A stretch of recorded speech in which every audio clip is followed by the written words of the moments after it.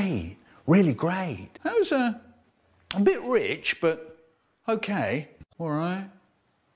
I said, all right. There was some um, jelly stuff, and actually, um, that wasn't very nice. Uh, actually, um, it was horrible. And that was even more horrible. I couldn't bear to put it in my mouth. I couldn't even put it in my cheeks. I hunched my shoulders and spat some. Suddenly, it appeared, and everything was lovely once again. Wonderful. I don't like it very much. I don't think it's funny.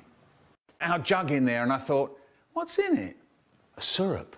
What syrup? Smell it. Mmm, smells nice. Finger in, lick it. Tastes nice. Lift the jug and drink a bit.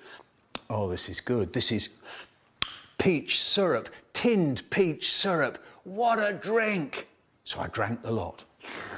Into the mouth. Nice. I don't like it very much. Really good. We saw more planes and more planes and more planes.